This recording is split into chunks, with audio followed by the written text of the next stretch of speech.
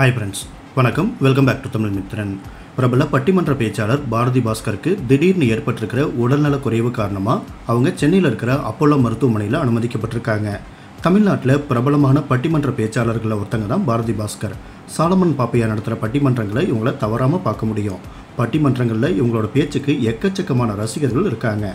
Chemical engineering மற்றும் MBA படிச்சிருக்கிற Bharathi Bhaskar private bank ஒன்றில் ஒர்க் பண்ணிட்டு வராங்க.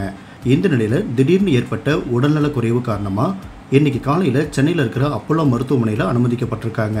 ஐம்பத்தி ரெண்டு வயசான பாரதி பாஸ்கருக்கு மூளைக்கு போகிற நரம்புகளில் பாதிப்பு ஏற்பட்டிருக்கிறதாகவும் அதுக்காக சிக்கலான அறுவை சிகிச்சை செய்ய இருக்கிறதாகவும் தகவல்கள் வெளியாயிருக்கு.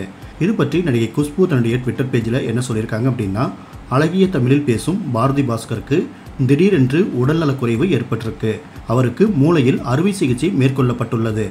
அவர் விரைவில் குணமடைய வேண்டும் என அனைவரும் பிரார்த்தனை செய்யுங்கள் அப்படின்னு நடிகை குஷ்பு ட்வீட் பண்ணியிருக்காங்க.